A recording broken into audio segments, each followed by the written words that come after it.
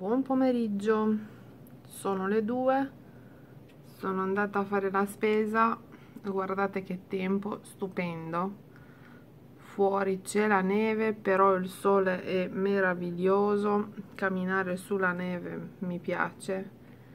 E dopo andare al supermercato e trovarmi il pane calabrese autentico.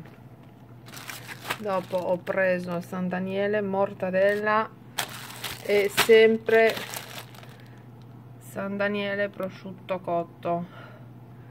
C'erano anche altri prodotti italiani di cui vi parlerò prossimamente.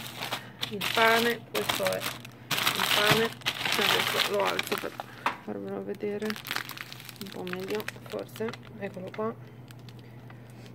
Pane calabrese alla prossima. Ciao grazie